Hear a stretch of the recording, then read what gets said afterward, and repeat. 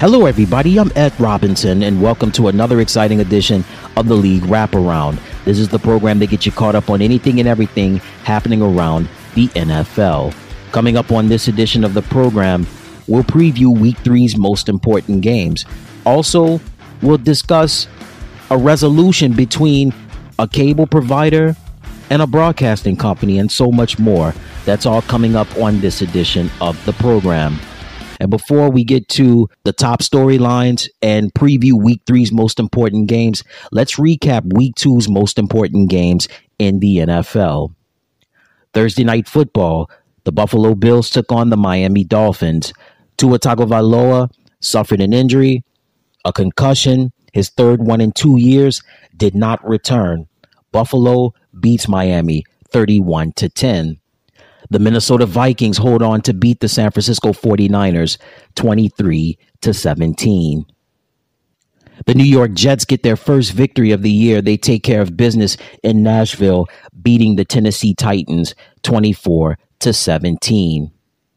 The Tampa Bay Buccaneers took on the Detroit Lions. Very close game, but Tampa Bay would hold on to win 20 to 16. The rivalry continues between Joe Burrow and Patrick Mahomes. Close game at Arrowhead Stadium in Kansas City. Harrison Butker kicks the game winning field goal. Chiefs would win 26 to 25. The Pittsburgh Steelers took on the Denver Broncos in a close game in the Mile High City.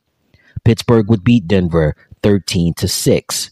Sunday Night Football was a showcase of the two young rising star quarterbacks in the league with Caleb Williams and CJ Stroud. In the end, it would be the play of CJ Stroud and the Texans defense. Texans would beat the Bears 19 to 13. Monday Night Football saw the Atlanta Falcons take on the Philadelphia Eagles.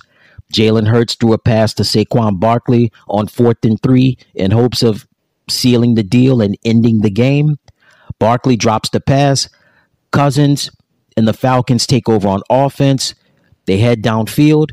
They get it to Drake London for a touchdown. Falcons beat the Eagles 22 to 21. And that's a recap of week two's most important games in the NFL. All right, now it's time for my top three storylines. I want to start off talking about Tua Tagovailoa.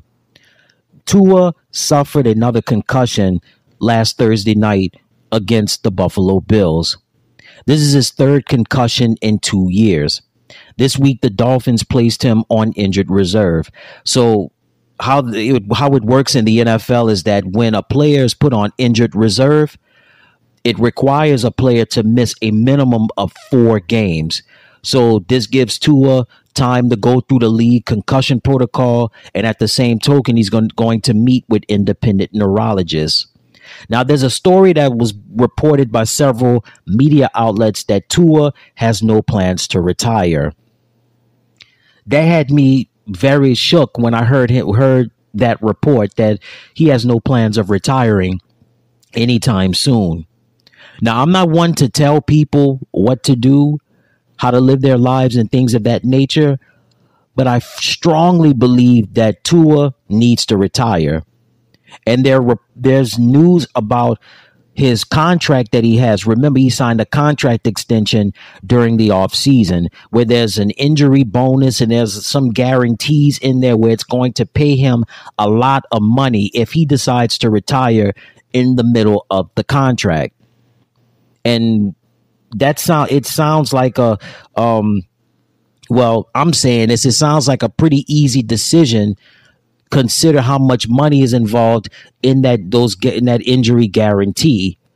However, I get where he's coming from because of that competitive nature and that competitive spirit, but it's just not worth it, short term and long term, considering how we're becoming more knowledgeable on brain injuries and brain trauma, and especially with CTE and so on and so forth.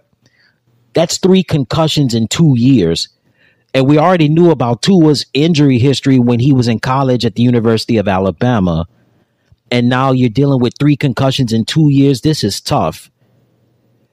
And I guess again, I understand, like including myself, it's e- it's an easy decision when you have these injury guarantees in your contract that's going to pay you pay you a lot of money but I also kind of get it as well that you know he wants to compete but it's just not worth it. It's just not worth it. And I, I mean I know he's going to have a lot of time to think about this cuz that's his decision and his decision alone.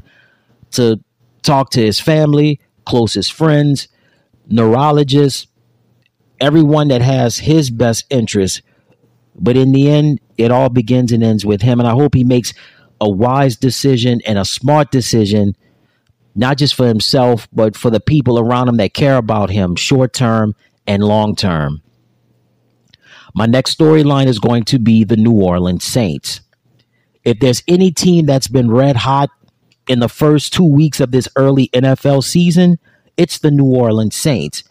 That offense is hotter than a bowl of seafood gumbo. Derek Carr, Alvin Kamara, Rashid Shaheed, Chris Olave, Juwan Johnson, the Swiss Army knife himself, Taysom Hill. I mean, what more could you ask for, right? Week one, dismantling the Carolina Panthers.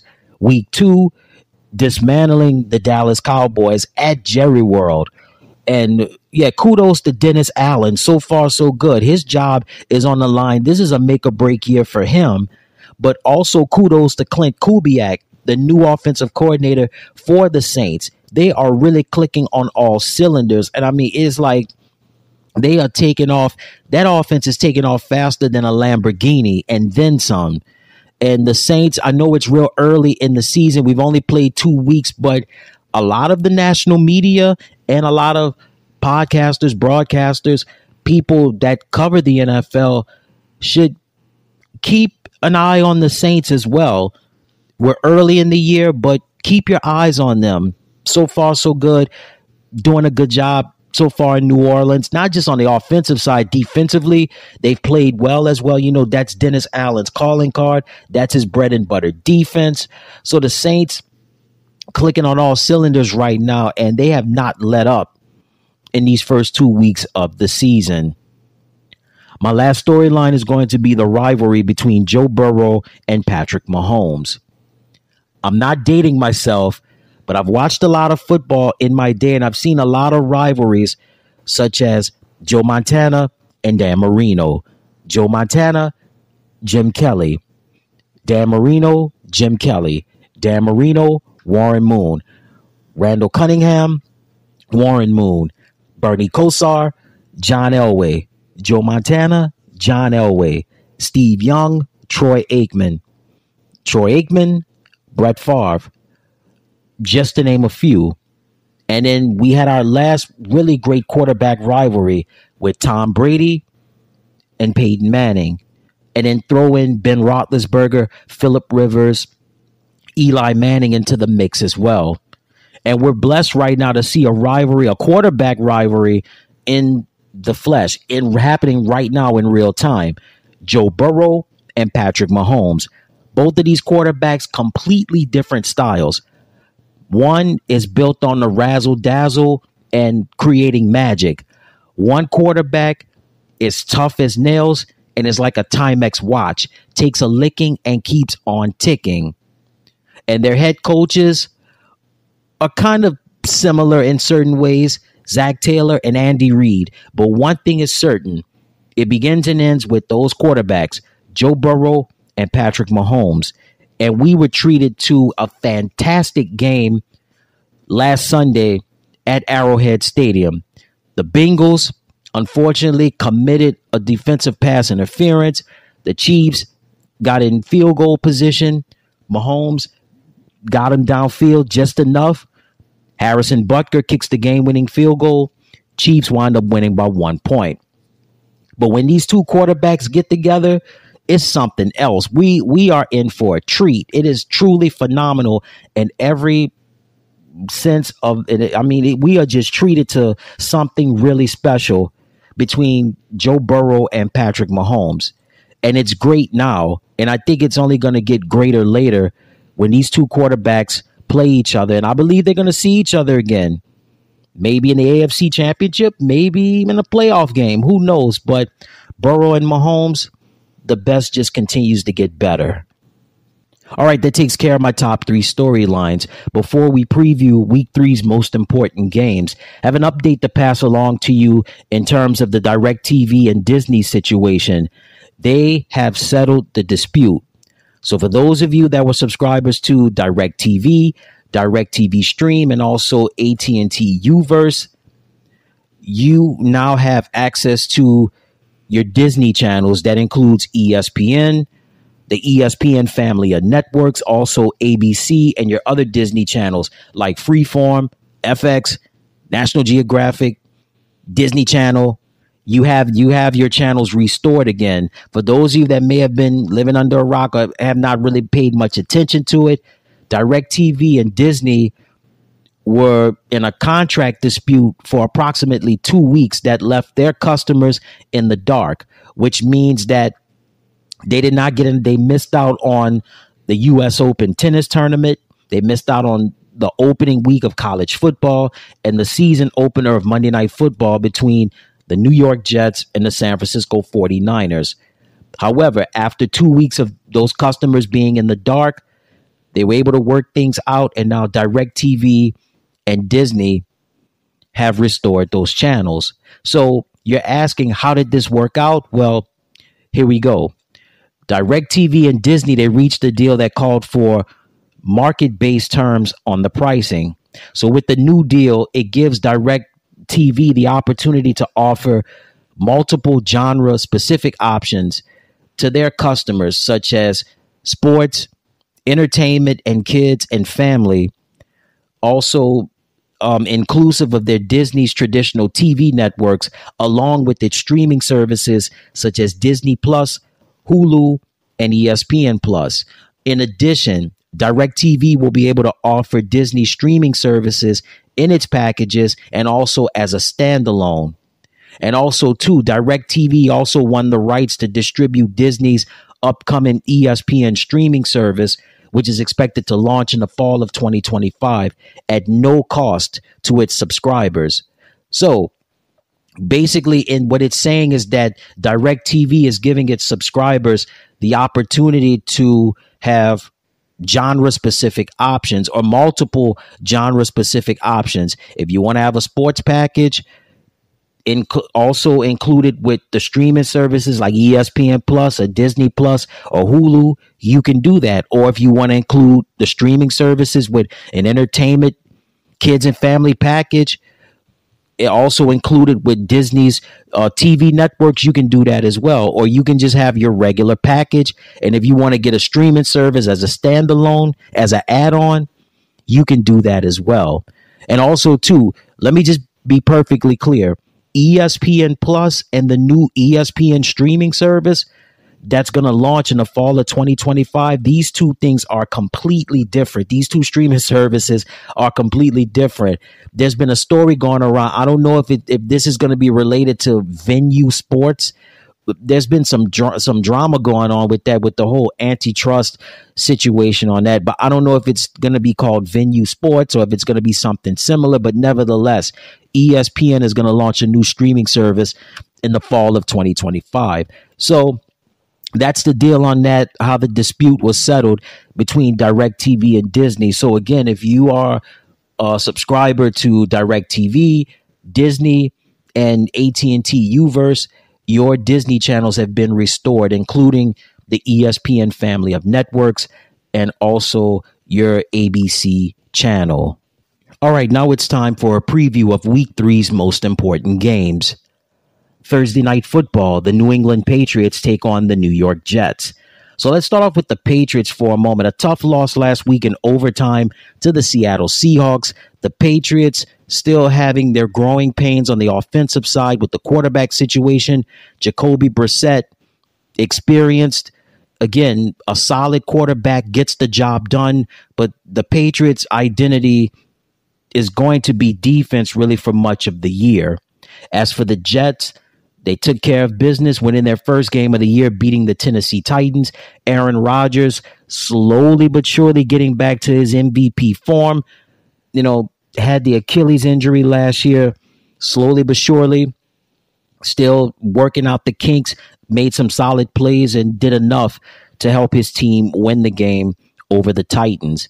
And the Jets ran the ball well, particularly with Breece Hall. He made a lot of he made a big difference in getting his stats up. Also, Garrett Wilson, Allen Lazard, they made plays as well. The Jets defense played much better in this game. So you know about the history with the Patriots and the Jets, right? Belichick was the head coach of the Jets. That lasted about a cup of coffee and a pastry. Then he changed his mind, winds up going to New England, and the Patriots just wreaked havoc in the AFC East for decades with Tom Brady, Julian Edelman, Rob Gronkowski, Randy Moss and company. The Jets could just not could not get over the hump in terms of taking down the New England Patriots.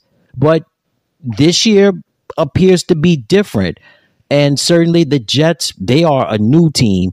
New England is a new team as well, but the Jets, particularly, are a new team, of course, with their quarterback, Aaron Rodgers. So, Patriots and Jets, going to be a, a thrilling game and an exciting game and an emotional game. The Jets' first home game of the year. That should be exciting at the New Jersey Meadowlands at MetLife Stadium between the New England Patriots and the New York Jets. The Houston Texans square off against the Minnesota Vikings. So for Minnesota, tough victory over the San Francisco 49ers. Justin Jefferson suffers an injury. Also, Aaron Jones has an injury as well. That Vikings offense is it's going to be interesting how this plays out. Sam Darnold, he's going to have a lot on his plate and is going to have to make plays and is going to have to be near perfect against that Texans defense that just gave Caleb Williams and the Bears offense fits last Sunday night. And we talking about fits. CJ Stroud has the opportunity to give that Vikings defense fits as well. And this should be a great game. And I'm I'm anxious to see how CJ Stroud and the Texans offense are going to go up against this Vikings defense. And I'm also anxious to see what the Vikings offense is going to do against that Texans defense. Remember, Aaron Jones, a rib injury. Justin Jefferson, he has an injury as well. This is going to be, it could be a long day for Sam Darnold because that Texans defense, they looked so good last Sunday night against the Bears. So we got the Texans going up against the Vikings. The Philadelphia Eagles square off against the New Orleans Saints. So let's start off with Philadelphia for a moment. Last Monday night, it was a train wreck at the end. Jalen Hurts, throws a pass to Saquon Barkley, has a chance to complete the pass, get a first down, game over. Guess what? Didn't happen. Fourth and three, he drops the pass. Falcons take over on offense. And we see Kirk Cousins do his thing, take him downfield. Drake London scores the game winning touchdown. Falcons win, Eagles lose. So the Eagles are chomping at the bit, and they're not just going to be hungry for a po' boy sandwich when they get down to New Orleans. They're going to be hungry for a win. And it's going to be tough because the New Orleans Saints are the hottest team within the first two weeks of the season. The offense is red hot.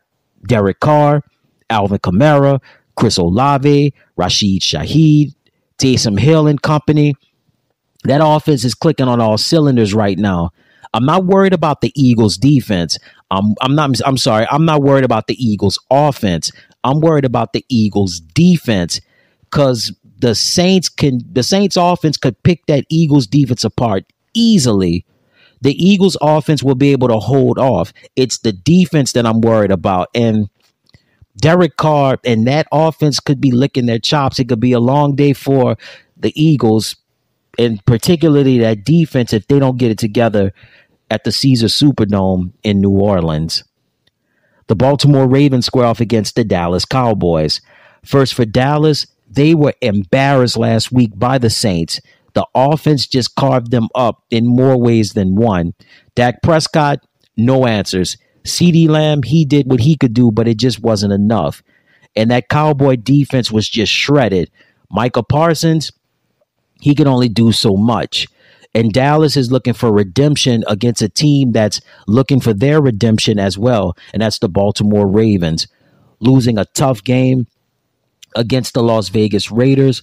Lamar Jackson, the reigning MVP, he's looking for some retribution as well. Derrick Henry, Zay Flowers and company trying to get down. They have to get down to Jerry World and hopefully get a victory against a team that was embarrassed last week. And this is going to be an interesting game. It's going to come down to the quarterback play with Lamar Jackson and Dak Prescott. This should be a good one at uh, AT&T Stadium in Arlington with the Baltimore Ravens going up against the Dallas Cowboys. The Detroit Lions going up against the Arizona Cardinals. So for Detroit, did not look good at all last week against the Buccaneers. Lost a close game. Amon-Ra St. Brown suffered an injury. Good news is that head coach Dan Campbell said that Amon Ra's injury is minor and he'll be ready to go against the Cardinals. As for Arizona, big win last week over the LA Rams. Marvin Harrison Jr., great game, over 100 yards receiving. Kyler Murray was effective in this game. James Conner ran the ball very well. So this should be an intriguing matchup down in the desert with the Lions and the Cardinals. I think this is going to come down to quarterback play. Jared Goff and Kyler Murray. Who makes the most mistakes in this game? It should be a good one between Detroit and Arizona. Sunday night football, the Kansas City Chiefs going up against the Atlanta Falcons. First for the Falcons, last Monday night, they took advantage of a mistake, a mishap on the Eagles' part. Kirk Cousins, you know his track record, not the best in primetime games, especially on Monday night, but he held his own, took his team down the field, throws a touchdown pass to Drake London. Game over. Falcons win. So the Falcons won a close game. As for the Chiefs, they won a close game as well, beating their rival Cincinnati Bengals.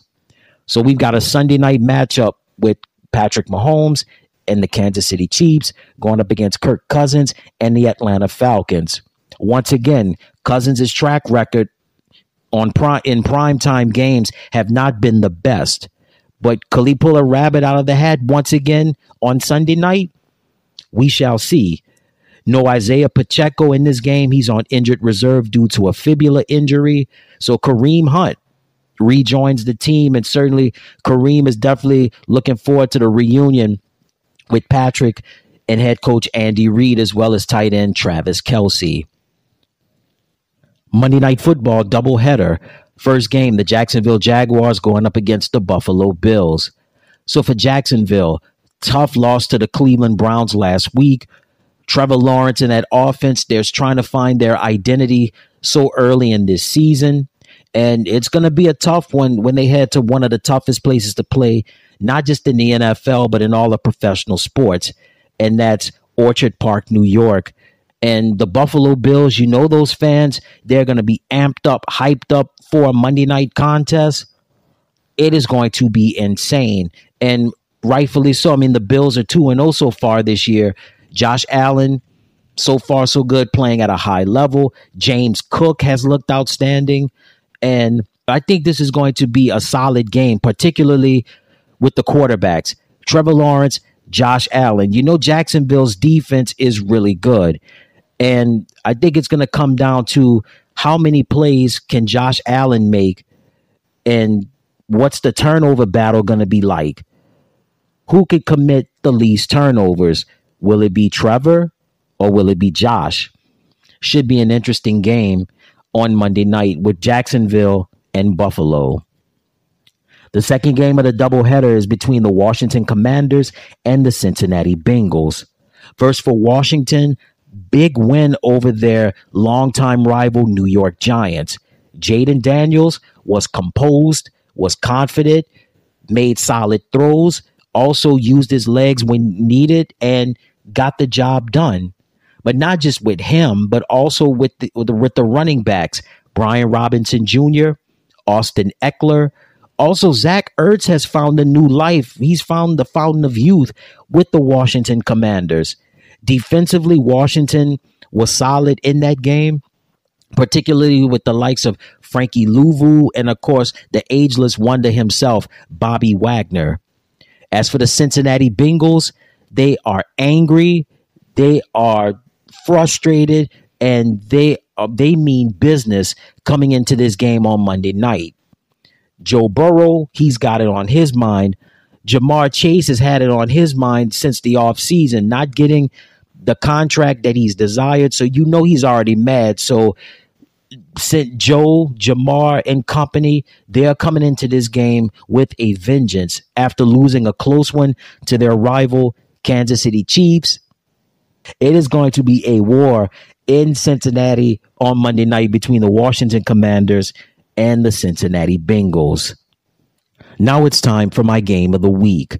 My game of the week is going to be the Washington Commanders versus the Cincinnati Bengals.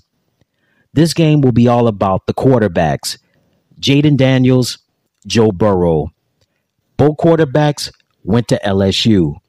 Both quarterbacks are Heisman Trophy winning quarterbacks. One quarterback won a national championship, one did not. However, both players were electric during their time at LSU. One quarterback is all about efficiency and athletic ability, Another quarterback has the arm strength and the accuracy, but is also tougher than a $2 steak. They say styles make fights, right? And certainly these two contrasting styles are going to make for, I believe, for a great game between the Commanders and the Bengals. Washington riding a high right now, looking to gain the respect that they once had and not be one of the laughing stock franchises in the league as they've been for decades. As another team, they're trying to get back to supremacy and try to get that first Lombardi trophy. Washington Commanders and the Cincinnati Bengals. I believe it's all going to come down to the quarterback play. Jayden Daniels, Joe Burrow. I think it should be fun. The Washington Commanders and the Cincinnati Bengals my game of the week. All right, before we get on out of here, I want to give you my picks of who, who I think will win week three's most important games. Thursday night football, the New England Patriots versus the New York Jets. I like the Jets to win. The Houston Texans go up against the Minnesota Vikings. I like the Texans to win. The Philadelphia Eagles going up against the New Orleans Saints in a very close game. I like the Saints to win the Baltimore Ravens going up against the Dallas Cowboys. I think this is going to be a close dogfight, but I like Baltimore to win this one. The Detroit Lions going up against the Arizona Cardinals. I like Detroit to win. Sunday night football, the Kansas City Chiefs going up against the Atlanta Falcons. I like Kansas City to win. Monday night football doubleheader, the Jacksonville Jaguars going up against the Buffalo Bills. I like Buffalo to win in a close one. The second game of the doubleheader, the Washington Commanders going up against the Cincinnati Bengals. I think we're up for a close one in, in this game, but I like the Washington Commanders to win this one. So again, my picks are New York Jets, Houston, New Orleans, Baltimore, Detroit, Kansas City, Buffalo, and Washington. And that's it. And again, thank you so much for tuning in to another exciting edition of the program. Until next time, everybody, so long and enjoy the games.